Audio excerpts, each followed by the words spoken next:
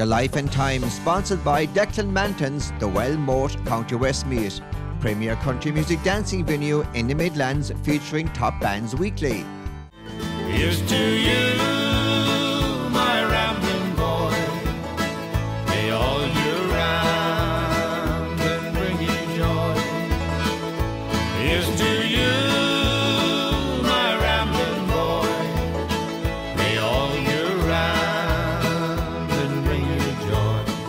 Hello, and you're very welcome to the life and times of one of Ireland's top country superstars, one of the greatest of them all, TR Dallas. TR Dallas, you're very welcome to the show. Thank you. Where did it all begin for you? Take Well, us back to where I you were born. I suppose it all began back for me in Mount Temple in County Westmeath, all those many, many years ago, and uh, grew up there with the, on the family farm with my brothers and sisters and my father and mother, and uh, that's where it all started, really. There's no truth in the rumour that you went to school in your bare feet, is there? No, no, uh, I didn't go to school that much even. Never mind me about it. right. Who? Uh, what is your earliest? Uh, what would be your favourite childhood memory? Well, I suppose really uh, some of my favourite childhood memories was growing up uh, in Mount Temple, and uh, you know football and and uh, being involved in the local community and all that type of thing. You know, and when that time uh, growing up, you know, in the school, you'd be in the choir, and they were very happy times. Really were.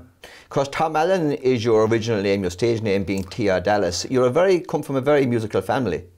Yeah, I was born and christened Tom Allen back and uh, those years ago, and uh, then uh, when it all happened in 1980, when I recorded the song "Who Shot Jr." written by a man from Cork by the name of Rocky Stone, and uh, that changed everything. Changed my name, changed my lifestyle, and changed my bank account. and, and became very famous. yeah, Of course, your I other suppose uh, you could say that. your brothers, of course, are very popular in the music business. Also, one of them, namely, being Tony Allen. Yeah, Tony is the Allen half of Foster and uh, Well, we kind of grew up with music. You know, my father played fiddle. My mother was a, quite a good singer. And, uh, you know, talk about the, the, the childhood memories. Some of that was traditional music sessions at home in our house. And my oldest brother, uh, Mick, who uh, he, he played uilleann pipes and he played accordion. And then my other brother, Pat, he plays fiddle and plays accordion. Jack, who was with a band called Allendale for a number of years and recorded uh, Sarah Jane, that song Sarah Jane and the Greenfields of Ireland. And they were quite a good band back in the 80s as well. And uh, that's where it would all have started, you know, the, the, the music sessions in our, in our house. TR, who is, would be your influences as you grew up and during your childhood as such? Who would have been your uh, Well, biggest influences there? I suppose my parents would have been big influences to me. I was lucky to be born into a, a very good family, I great parents, you know, hard-working people. My father worked on the council and he also we had a small farm and that was, my parents would have been hugely influential on me, yeah.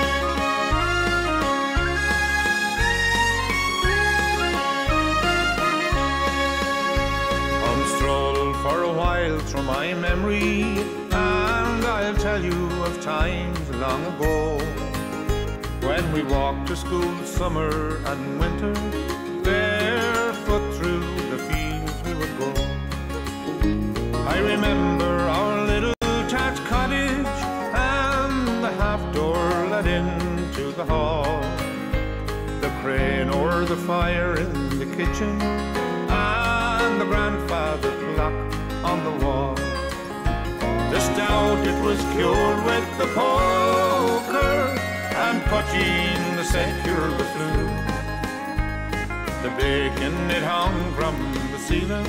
Sure, the story I tell you is true.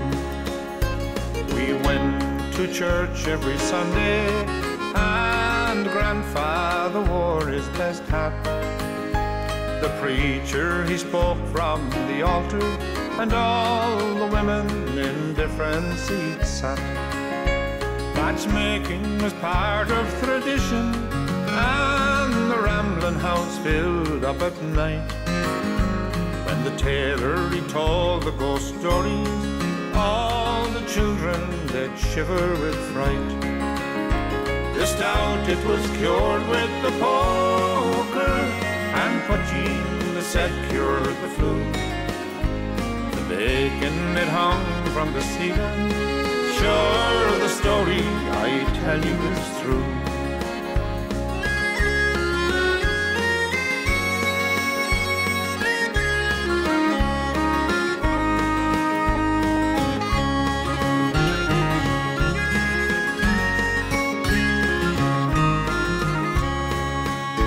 I remember the sound of the anvil and the burning horse hoof we could smell.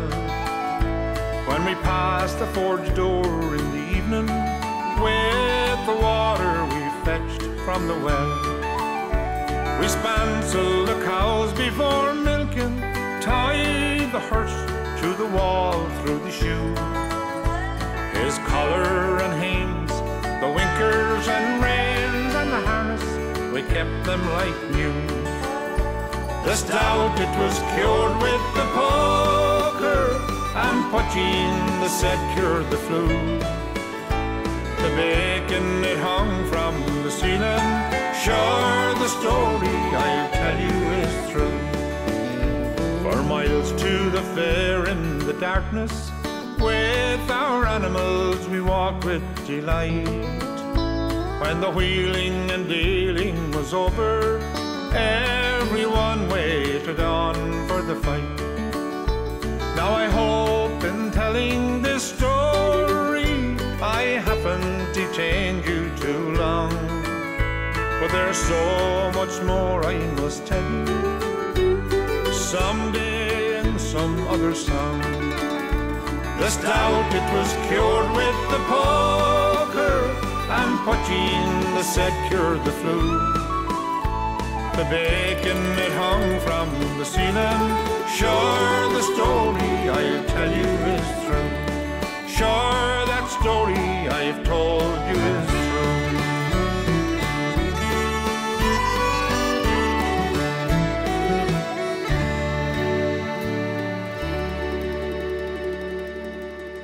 What was your favourite TV show as you grew up? Oh, the first uh, television show I can ever remember seeing uh, was in the in the village, the local pub in the village. That was the first television I seen, and a thing uh, there was a thing on called Rin Tin Tin, and uh, that was one of the, the first television shows I ever remember seeing. Right. And tell me, TR, who inspired you to become an entertainer? Well, I suppose my, you know, growing up in a house where there was lots of music, uh, music was something I was very, very much into as a young fella, and uh, was singing from a very young age. You know, there would be parties at home in the house. You know, people would come, maybe home from England, whatever, and we would be singing and playing music in the house. But then, as time went on, I suppose mm, uh, the first country record bought would have been Charley Pride. Right. And in Ireland, then, you know, Big Tom was one of the, Larry Cunningham, the late Doc Carroll, of course, who I, I, I had the pleasure of working with. Then Ray Lynam would be one of my favourite real country, Irish country singers, you know. Right. And tell me, how did you first get into the music business? Well, I first got into country music by, uh, actually, I, when I was a very young lad, I was working in Moate, and Ray Lynam and Kevin Sheerin, who went on to be the Hillbillies, they had a little band called the Merrymen. I remember going and singing with them once or twice. And from there on, there was a local band called the Marylanders. And, you know, I said, Tony, my brother, we were all always messing around with music and a few local fellas. And went on from there. And uh, I suppose that would have been kind of where it all started. I always wanted to be in music. Right, right. But you were working at that stage also uh, during the day? Started working, served me time as a motor mechanic, which I, I did for a number of years, yeah.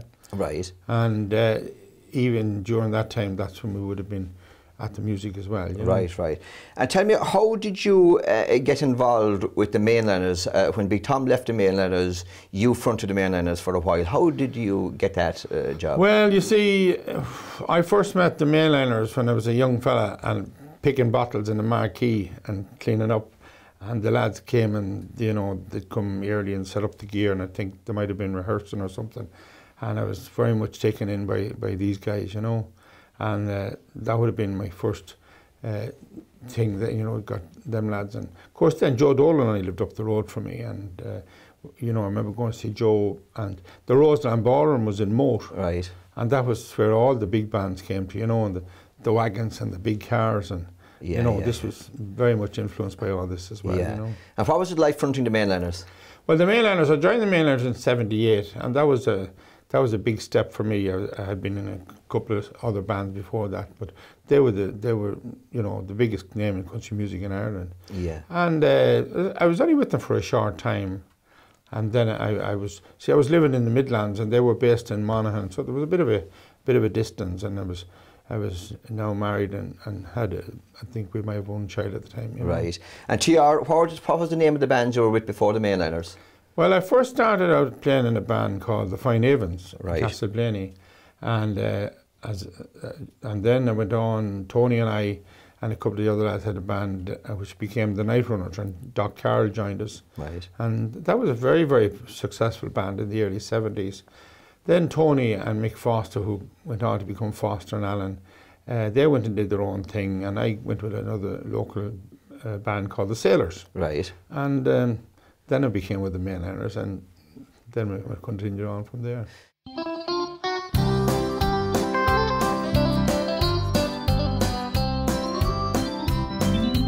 Murray and never had their names in lights.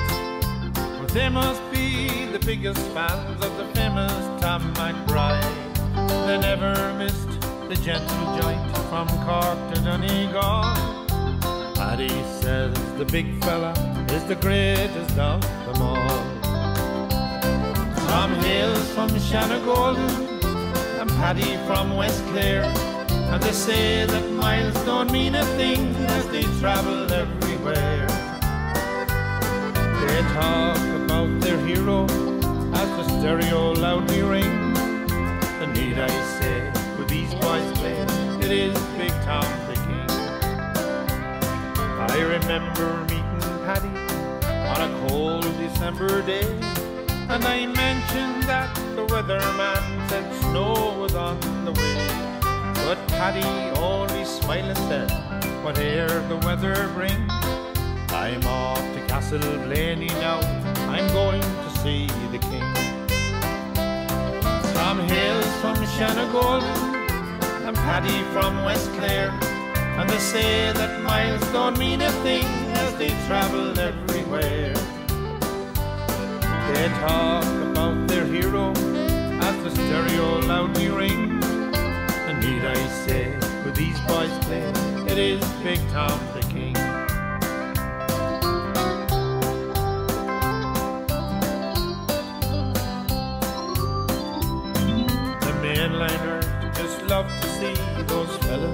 coming round. Tom Buston says it lifts his heart to hear that magic sound. So keep the wheels a turning, boys, and keep it country as you move along to hear Big Tom wherever he may be. Tom hails from Shanagolden and Paddy from West Clare. And they say that miles don't mean a thing as they travel everywhere. They talk about their hero as the stereo loudly rings. And need I say, with these boys play, it is Big Tom the King. They talk about their hero as the stereo loudly rings. And need I say, with these boys play, it is Big Tom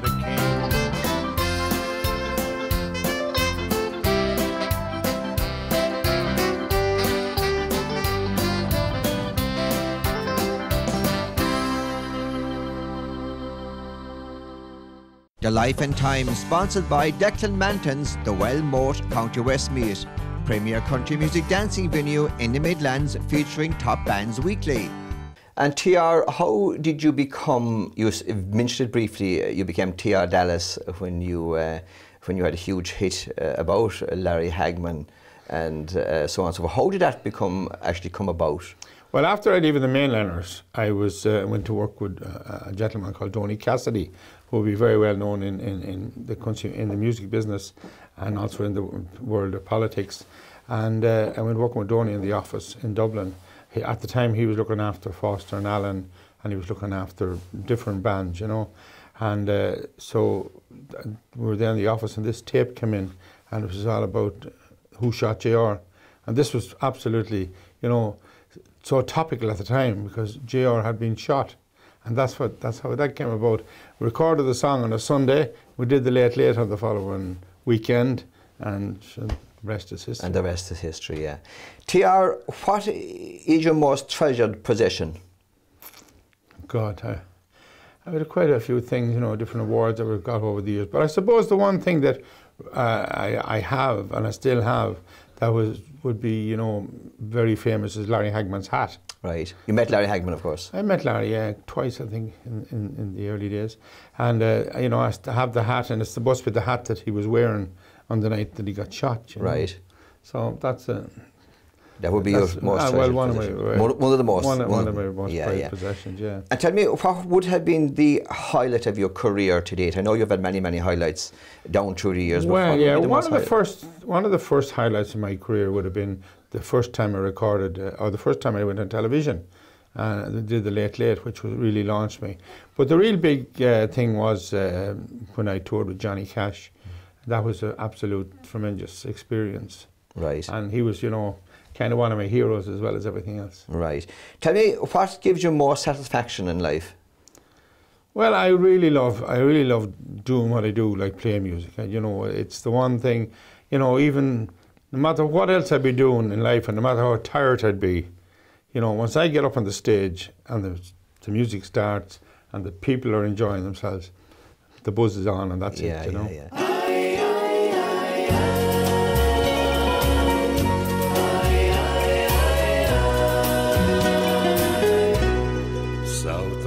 The border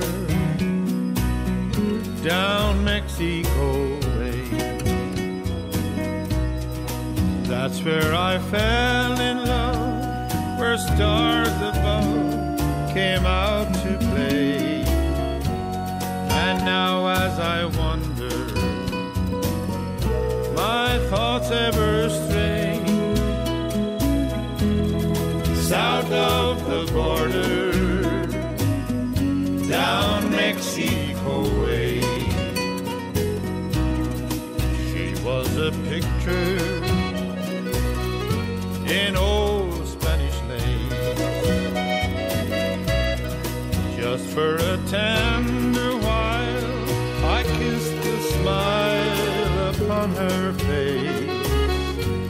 for it was a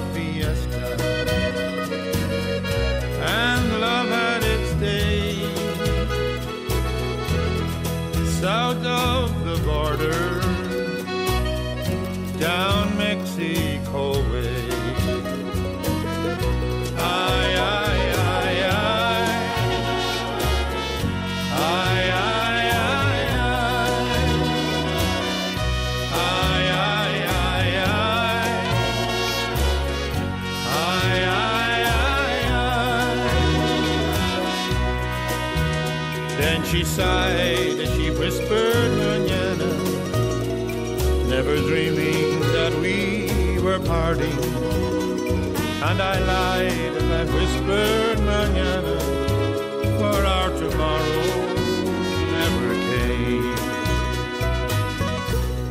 South of the border, I rode back one day. There in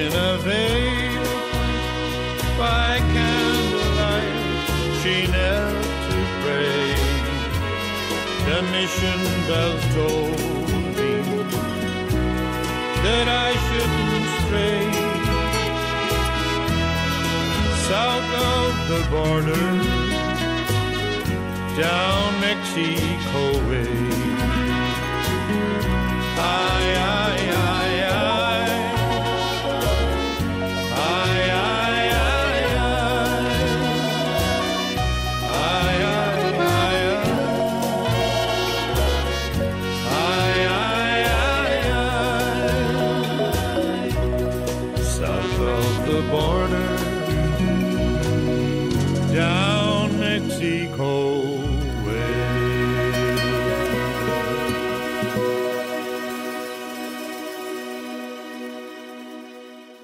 TR Dallas, what has been the most embarrassing moment of your career to date, or even maybe outside of your career? Can you remember? I can't remember anything very embarrassing as such. You know, the, the worst thing that I think happened to me maybe once is, is forgetting the words of the song. You know, doing a doing a live show and forgetting the words. But you know, it it is embarrassing at the time, but it's something that you know you when you're a musician, entertainer and you're professional, probably nobody knows any yourself. Right, you know. right, right. The right. lads in the band would notice and they'd remember, remind you for some time after that. yeah, know. yeah. Of course, you were fronted a great band. Uh, you know, T.R. Dallas band was a huge band. Well, the band around. was yeah, it was a huge success for me at the Yeah. time. You know, like we had, a, I can't think we were the only band that kind of survived from 1980 until 86 when Daniel O'Donnell started around that time. And uh, but we had, a- you know, we had a great, we had a great career, and I still have, thank God. Yeah, you know. and playing to venues with two and three thousand people and, and practically five, six nights a week. Well, yeah, I mean, everywhere, you know, if you hadn't a thousand or twelve hundred or fifteen hundred people, you definitely wouldn't be brought back, you know. Yeah. Like I remember being playing in Castlebar, and the Royal Ballroom. You know, must have been around the time when Who Shot JR and things was happening, and uh, my manager at the time, the late Connie Lee, who was one of my great friends as well as a great manager, uh, you know, saying to me that the man in the hall was saying that the crowds were dropping off a little bit. You know, Mm. I think we only had twenty three hundred, and where that was one of the biggest ballrooms in the country, and uh, still has a fabulous theatre there now. In Absolutely, yeah. TR, what are the three things you cannot live without? I suppose you can't live without air anyway, Right? and, and food and, and, and water. but apart from that, uh, I, I just, uh, I think one of the things that I, I love is, is meeting people. You know, I love, you know, meeting people, and uh, it's one of the things that, you know, if you weren't, if I wasn't out there meeting the people, God, I think I would die. You know, right, right, right, right. But after that, uh, uh, you know, Yeah. I'm afraid uh, food is one of the things that I love. Unfortunately, I love it too much, and uh, I'm not a big drinker. I like a social drink, and uh, that's basically what, the way I go. You know. Yeah. Can you remember the first time you heard yourself on radio? And if so, where were you? What was the sound? Well, the first time actually I recorded for radio was a gentleman called Donald K. O'Boyle in Donegal, and he's he's still to the good, thank God. And uh, uh, he brought me, he brought the band I was with called the Fine Avens. That was in 1970, and we played in a little, little hall. And then I was in, I think it was Bunbeg uh, in Donegal.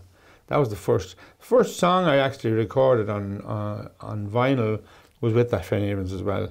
It was I think it was Hank Snow maybe maybe not sure, but Hank Snow or George Jones, some of them American stars. It was called The Stranger's Me. Right. Uh, that was the first song. I And what year was that? 1970. Right. Yeah, I was in short trousers then. Yeah, you were a young man then. Tell me, do you have a favourite song you have actually recorded? Or songs? Ah, sure. I'd, I would have. A, I'd have a few. I suppose. Hard to be humble is one of one of my favourites. Um, the story I'll tell you is true is, is is another one. There would be so many of them really. Uh, Daddy's Girl, I suppose, would be. Daddy's Girl, a very very popular song and one that's every night. Uh, Jr. as well. I mean, every night you go, you, you've been doing these songs for thirty years, and the night you don't do them, someone comes and say, "Ah, I was waiting all night. You never did Jr. You never did." yeah. There's one song that I recorded. It's a Dolly Parton song. I think it's Dolly Parton that wrote it, called "The Last One to Touch Me," and it's it's an amazing song. You know, every Yeah. every other night to be asked for it as well. And what would be your all time favourite country song um, by any singer? That's a great question. Who? Um, very hard to very hard to say. Um, I, I, I suppose "Hard to Be Humble" would be one of my all-time favourite songs. Right. It's just an everlasting song. And the one thing that's amazing about it is, you know, to this day, when you start singing that, especially in concert, Mm. everybody in the hall seems to know it. Know and even words young people Yeah. uh, seem to, to know the song, you know. Right. The Life and Time, sponsored by Declan Manton's The Well Moate, County Westmeath, premier country music dancing venue in the Midlands featuring top bands weekly. If you had a choice of recording with an artist, either living or dead, and who would that be? There'd be a few. Um, I suppose Dolly Parton is somebody who I think is just a tremendous great singer as well as being a songwriter. Right. And to do a duet, like she'd be the one.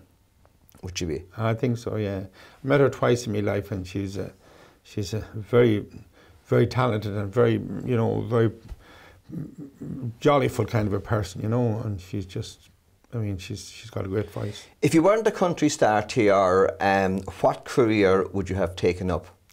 Well, I, I suppose he was started out served me time as a motor mechanic, and uh, I just had my time served when I became a, a sales rep. Right. And I went on to spend most of my time selling cars.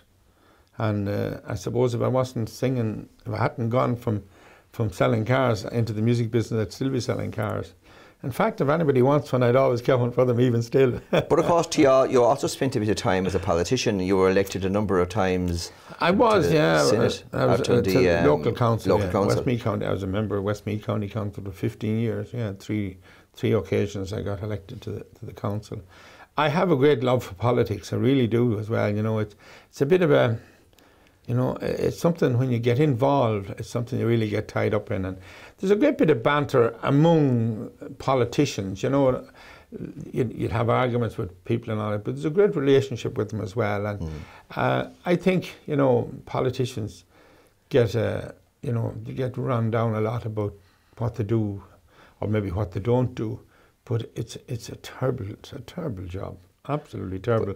But, you just get caught up in it, and it's very hard to get away from it. You, know? you were able to, to combine both singing and the. Well, I did. I suppose in both occasions you're you're involved with people, mm. and uh, you know yes, I was well able to combine both and and enjoyed both a lot. But uh, now in latter years, uh, politics is a tough game, and I mean. You know, there was a time that you say you're only as good as your last job, but this, this in politics you're only as good as the next job.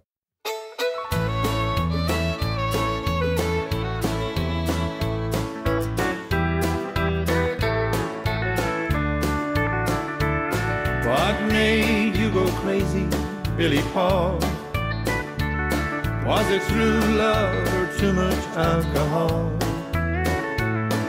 Was your back all the way against the wall? What made you go crazy, Billy Paul? You were my friend for nearly 20 years. You love my dirty jokes and ice cold beer. Tonight my eyes are filling up with tears. Cause I'll never be the same without you here. When your picture came across the evening news, Said they found a woman dead up in your room. I hit my knees and prayed it wasn't true. Man, it killed me when I found out it was you. What made you go crazy, Billy Paul? Was it true love or too much alcohol? Was your back all the way against the wall? What made you go crazy, Billy Paul?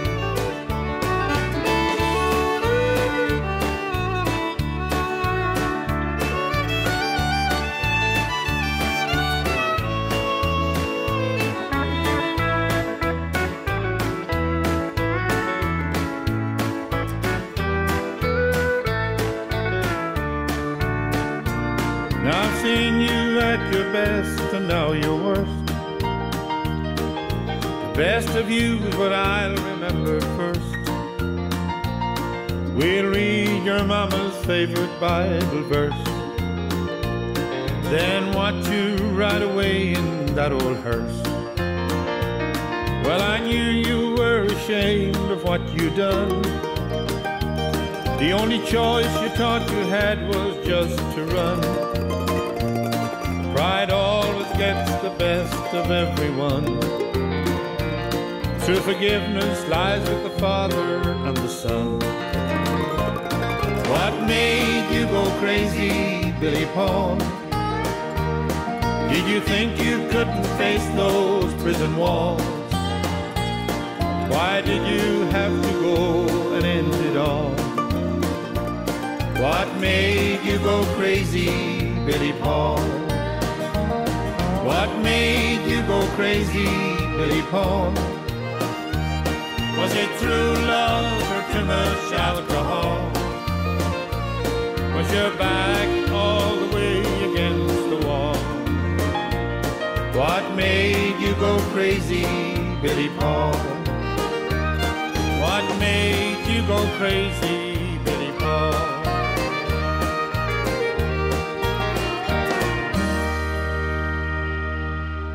What one piece of advice um, had you been, have you been given that you actually followed down through your career and your life? Well, the one thing about it when I grew up, you know, my parents would always say to you, look at, be nice to people, be honest, and be straight.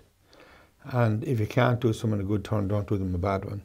Know, I remember my father one time, I, I was giving out about something, and, and he said to me, don't be going on like that now. He says, it's nice to be nice and it's no weight to carry, he said, you know. Right. And it's, it's, it's, it's, it's a very true saying because, you know, you might have a disagreement with someone today, but your next week they could do you a great favour. So uh, I'm a great believer in, in, in whatever, whatever happens, just leave it behind you. Say what you have to say and get on with and life. move on, yeah, yeah. What uh, piece of advice would you give to new artists starting off in the business? Well, first of all, in you starting off in the music business, it's a tough game. You have to work hard at it, and you have to listen to people who has been there before you, and uh, get a couple of opinions. If you're only young and you're starting out, if you want to pick a song, get a couple of opinions, sing it for a while, see do you like the song, get used to the song, see can you sing it. See, it's not everybody can sing every song. There's songs I couldn't sing. Th- There's, you know, there's certain songs that suit you better than others. The whole secret is pick a song that suits you, song with a story, and just work hard at it. Be nice to the people you're working for and you're working with, and most of all, the people on the floor who's paying your wages. Yes, true, true. You know, because they're the ones who come back night after night, mm. and it's it's very important to appreciate them because they they are the they are wonderful people. I suppose a good stage name is very important too. I mean, T.R. Dallas is a very catchy and a very, very Well, it worked out name. well at the time, you know, when the when we brought out the song "Who Shot Jr." and uh, we took it when it came out in England, the record company there, you know, thought that Tom Allen was a, a bit Irish, you know, and there was Foster and Allen, and there was Dave Allen, and there was different Allens, and they just thought that the song "Who Shot Jr." was kind of very American, and and the the TR kind of fitted in, and uh, Donie Cassidy at the time they came up with, with, with Dallas. and right. I wasn't that impressed at the time, but look, it worked out very well. It worked out end, very well. TR, tell us about your latest recording project. I know you have many albums to your credit, many hits to your credit. Tell us about your latest project. Well, you know, the latest, the latest is a, is a, is a new DVD that I've been just just have finished and hope to get it out quite soon. I'm always trying to, to pick songs, and in fairness, I'm lucky. You know, I get some nice original songs sent to me, and like what we're saying about new artists getting songs, you will get loads of songs sent to you, but then they may not suit me. They could suit somebody else, but they may not, and I may not like it, and I could be totally wrong. But you have to like the song. And how do you pick a song? Do you just sit down, listen to a song, and, Well, and how do you uh, actually pick a song and say that's a song? I'll go for a single Well, or I, album. I, I like a song with a story to it, and uh, story is very important. Nice melody, melody, melody, and uh, you know um, the words of the song is is, is important. And it, sometimes, you know, often you record a song like I've recorded some songs, not a lot, but some that I never brought out because it just you didn't. After doing them and all, they just weren't right, you know, for whatever reason. and you've written a few of them yourself. Ah, yeah, I wouldn't be a songwriter though as such. I've written a few songs. I've written one that's on Foster and Allen have it on their last album called The Land That I Love. Right. Uh, Louise Morrissey put it on one of her albums a while back, but uh, yeah. I- And you, you, you wrote one that show Up Mayo, a famous Mayo song for the uh, other yeah, one many, time. many years ago. I did, yeah, I wrote a few bits of ones. Yeah. And tell me, TR, you just said about how you pick um, a song um, for an album. How have things changed in recent times, recording wise, compared to what they were like going back, say, 20, 30 years Oh, there's ago? no comparison. Absolutely no comparison. The whole world of recording. When I recorded the first song in 1970, It was in, the Eamon Andrews studios in Dublin. And you would just, actually, they used it as a dance hall at night time and it was a recording studio during the day. So there was just these battens put up round about. You went out there and you sang your song. There was a little eight-track studio, I think it was, inside, and you know the multi-recorded different bits and pieces. I don't know much about recording, but that's the way it was done. Then we moved on a bit, you know, and uh, when I recorded Who Shot JR and songs like that, we did it in Lombard Street in Dublin, and that was a massive studio. But I mean, the quality of sound is out there today just the technology is incredible. Yeah. I mean, I can go to the studio and put down a, a guide vocal. They can send one piece to to Nashville, and they can send another piece to, to somewhere in Canada, and they send another piece to somewhere in Australia, and people would pay the parts, and they just email the whole lot back, and you go back in and then mix it all down, and you sing, a, put the vocal on it. It's just a different world. The uh, quality of recording has changed so much, and the, the quality of musician has really changed an awful lot. Like most young young artists now who are playing music, they nearly know how the instrument is built before yeah. they start learning how yeah, to play yeah. it. You know? You're just speaking about Nashville there. You've been to Nashville, of course, several times. ah, yeah, I love Nashville. It's it's a grand place. It's it's very laid back, and there again, you look, at this has changed tremendously. When I first went in 1980 and 81, and then you know you go back 20 years later, it's a whole different world. Mm-hmm. And this quality, the standard of the music has changed a lot, and the type of music. They've moved on a kind of from what I would call the old traditional music into the more modern country music, and uh, I don't know. Sometimes it has worked out good, and I still like the, the older traditional country music, you know. And I think we've come back to that now a bit, you know. Yeah. Here in Ireland, I mean, the, you know, the standard of some of the young country singers that's coming through here is just tremendous. Fantastic to see it. Brilliant. Of course, country music in Ireland is very, very strong at the moment. It has been for the last number of years. It has, yeah. But and Derek it, Ryan and all those. Absolutely. Singers. I mean, when you look at, just, you know, you name a few people like Nathan Carter and Lisa McHugh and Derek Ryan and uh, Lee Matthews and Jim Devine and Johnny Brady and all these young singers that's coming through. I can't even think of most of them. But you take Derek Ryan as a talent. I mean, some of the songs he has written, mm. just they blow you away. I mean, as good as any place, any man in the world, like just fantastic. But they're, they're, they're good, as I said again, they're all entertainers. You see, it's one thing to be a singer, and you can be a great singer, and there's some great singers out there who never ever makes it. But it's not just about singing. You have to be an entertainer. You have to be able to sell it to the people, and that's that is the big one. Right, right. The Life and Time, sponsored by Declan Manton's The Well Moate, County Westmeath. Premier country music dancing venue in the Midlands featuring top bands weekly.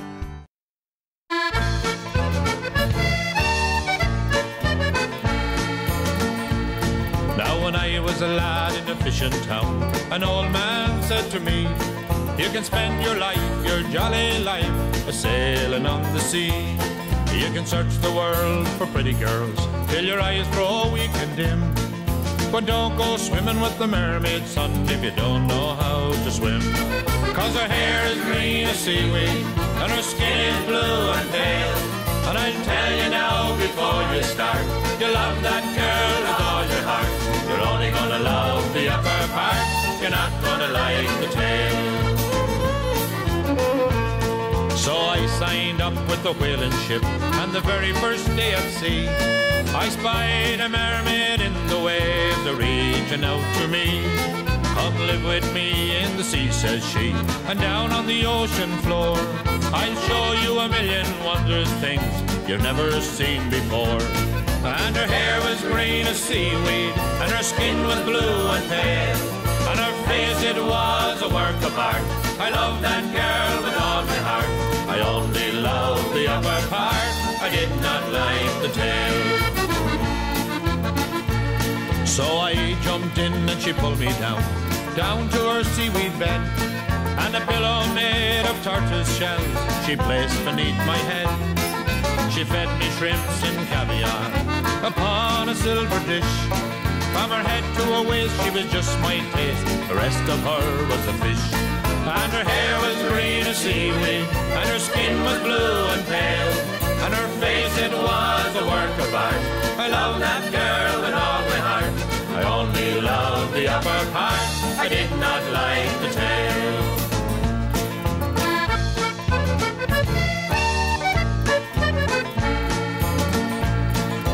And then one day she swam away and sang to the shrimps and the whales. I miss her fin and her seaweed hair and the silvery shine of her scales. But then her sister, she swam by and set my heart a whirl. Cause the upper part was a knuckly fish and the bottom part was a girl. And her toes were pink and rosy and her knees were smooth and pale. And her legs, they are a work of art. I love that girl with all my heart. I don't give a damn about the upper part. And that's how I end my tale.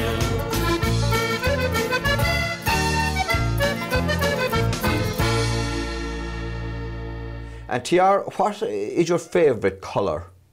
The maroon and white of Westmeath is still one of my favourites. Right, right. Fair play. And your favourite item of clothing, what would that be? I like a suit. Yeah. If I'm going out, you know, I like to dress in, in, in nice, maybe a nice suit. If I, if, whenever I get the opportunity of going out, I don't get out much. Right. And TR, away from the music business and when you're not on stage or when you're not performing and travelling, what are your hobbies? I like listening to music. Uh, you know, I like if, if I'm at home and I go out there into the sitting room, put on the television, and put on a nice DVD, or either that, sit back and listen to good country song on the stereo or whatever. I love music is my favourite pastime. And tell me, have you a particular goal going forward that you would like to achieve? Oh, so maybe a job like yours, presenting a television show, would be something I, I something I haven't I haven't done really, you know. I, but, yes. Uh, something like that would be nice. Yeah, I have done radio a bit down through the years, but um, you know, I suppose when I stop and think, there's not much in my life I haven't done at this stage. You know, waking up somebody with no money in my pocket. yeah, I don't think there's any fear of that in the short term anyway. I don't know about that now. Go, going back there to, to many years ago, you were in the pub business for a while. You had a very successful um, pub. Yeah, and, in well, and we still have. My son has, has, has a very successful pub, thank God, in, Moate in County Westmeath. Yeah, Yeah. in the centre, the real capital of Ireland, the centre.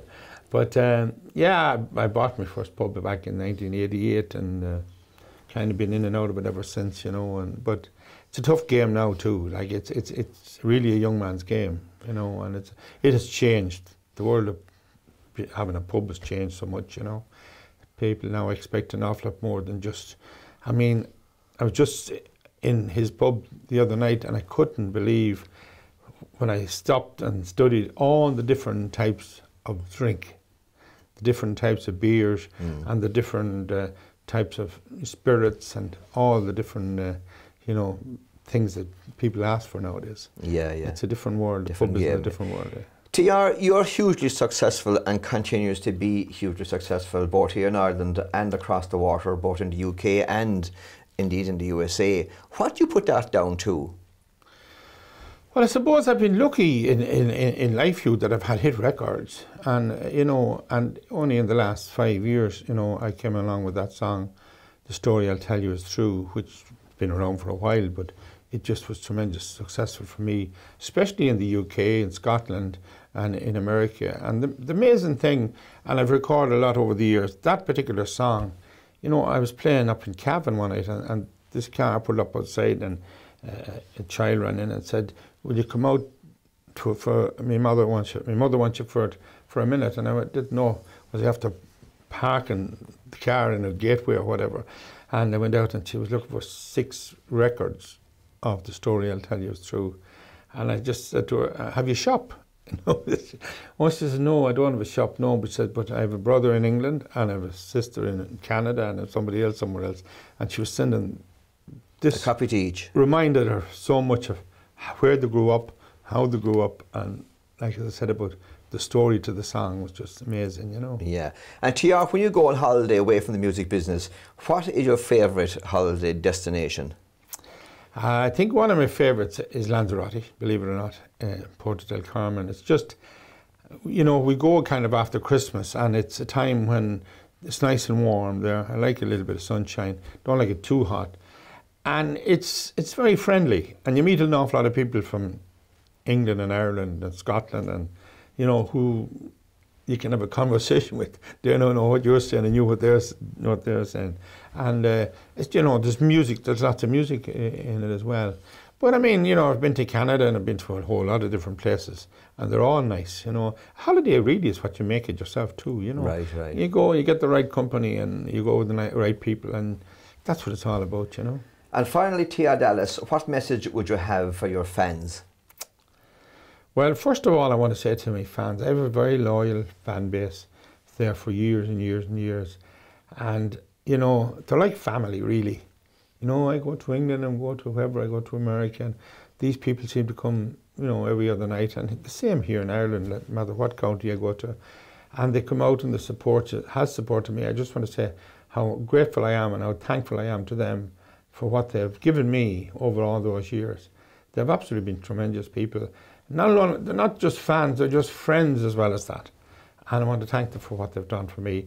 To all our people in, in you know, who like yourself on radio and television, without you people and without exposure, you cannot make it. You have to get the radio play, you have to get the television shows, and you have to have a fan base. It's the people, you know, Brian Coll sang the song, it takes people like you to make people like me.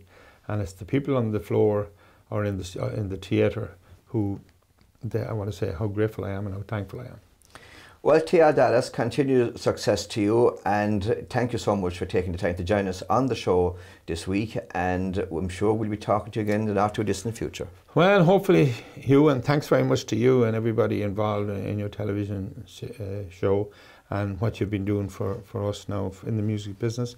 Like you have a tremendous successful uh, program here with Hot Country, and it's been that way for a number of years now, and it's, it's good for us and it's good for the business.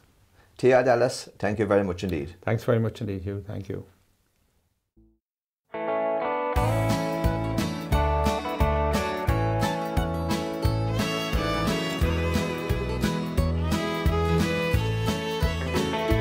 Was a man and a friend always. He stuck with me in the bad old days. He didn't care if I had no dough. We'd ramble on in the rain and snow. Here's to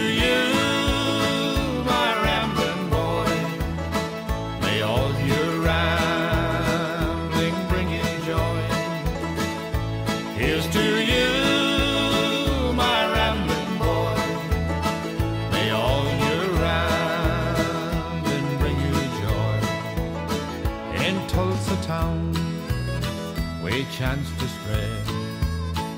We thought we'd try to work one day.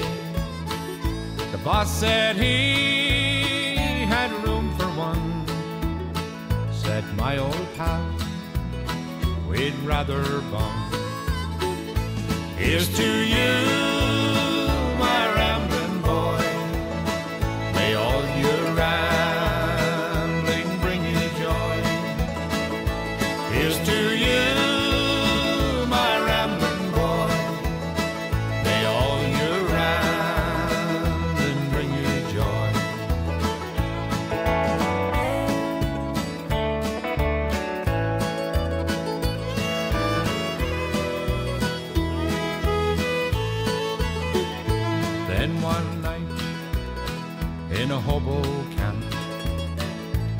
Weather it was cold and damp. He got the chills and he got them back. The took the only friend I have. Here's to you.